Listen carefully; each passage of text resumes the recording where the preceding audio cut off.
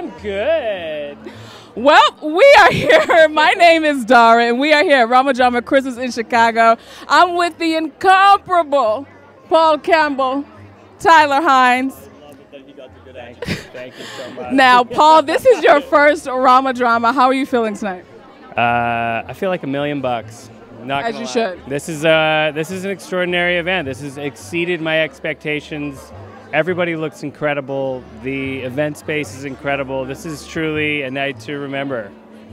Now, Tyler, you're no, you're no stranger to RomaDrama. This is your third RomaDrama, I believe. How are you feeling with it being Christmas time this time? I feel good. I feel like it, like the way Paul looks, which is a million bucks. Look at him. Look at my boy. Look at him. You gotta dress to impress, you know. Impressive, truly. Now, I don't know if you guys heard, but your movie made number one in America for 20 and 22. How does that make you feel? Very proud. I, th- I think you know, like we started this thing. Paul started this thing with Kimberley Sustad, who wrote it, and the fact that we've gone through all this together as friends uh, has truly been a spectacular thing. And and I think uh, the fact that people watched it and supported it as they did, honestly, we're obviously very very grateful for it. Yeah, I think we th- just the fact that we got to make this movie with full support of the network and spend three weeks being silly with our friends and telling stories we wanted to tell was really so extraordinary in and of itself. And then for people to respond the way that they did uh, is sort of the icing on the cake. But yeah, I think we're we're honored and surprised and flattered by all of it. Now, you mentioned be- being silly with your friends. What was your favorite part of the filming process? Honestly, I have not laughed as much during filming ever, maybe in my entire life. These boys just, I, I was by far the least professional, but trying to keep it together. On many levels. Well, we don't need to go into all of them right now. Um, we are on camera. But uh, the, Tyler, in particular, making me break so many times. Like, I ruined so many takes because I could not stop laughing. It It was was you. You were the one who broke the most out of. all, n- n- no, Oh, like 90%. 90% was me. Just delighted at what nonsense these guys were bringing.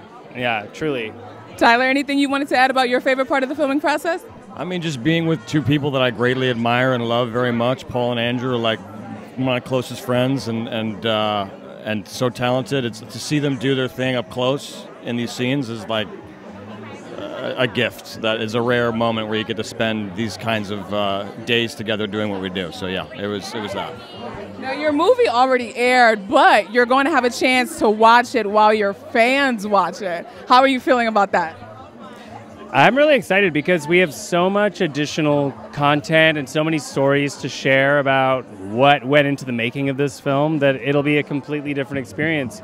And to be able to laugh, hopefully, along with people as they watch the movie and really let them in on what the filmmaking experience was like for us is is something you don't ever get to do. This is I'm really excited about this.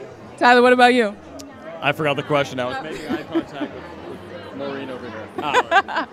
I was asking, so you, you have a chance now to watch Three Wise Men and a Baby with your fans. So, what is that? Like, what are you looking forward to with that? I've been waiting for this moment. I, I watched the movie, uh, an earlier cut of it before uh, Drew and Paul had a chance to, and since that day, I've been quietly waiting for this moment to to see their reaction, and specifically Paul's, because he's you know really built this thing from the ground up. So to see him get the reaction in real time from everybody who's enjoyed his work and, and our work is going to be a privilege. I can't wait.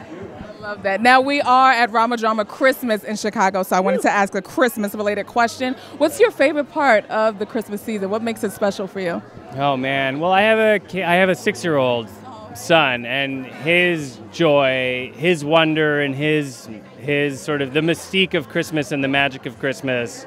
This is like the perfect age for a child to be experiencing Christmas. So just watching him, you know, uh, discover the joy that I remember having when I was a kid.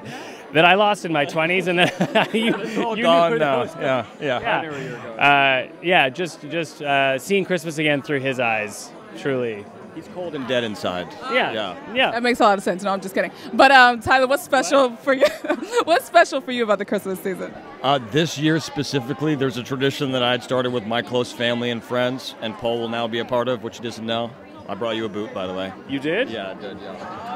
Um, I don't even know about this tradition. I, I don't know what the thing is. You're going to No. hear it right now. So Okay. we started a tradition uh, a few years ago. Friends and family get a little glass that's like shaped like a boot. You take a shot out of it. You hang it on your tree. You send a photo of yourself taking that shot to your little group of friends and family who's in this little Okay. sort of like this little squad that you've built. Okay. And so you'll be a part of my squad. But this year, um, I'd made some for, for folks who wanted this boot, and they've been sharing it with each other, and uh, just hearing their stories about giving the boot away and starting this tradition with within their sort of family and friends has been uh, an emotional uh, satisfaction I didn't see coming. It- it- I, I knew I would enjoy it, but it's uh, overwhelming how beautiful the whole thing is, and you're going to join the family too. That's really fantastic. Thanks, pal.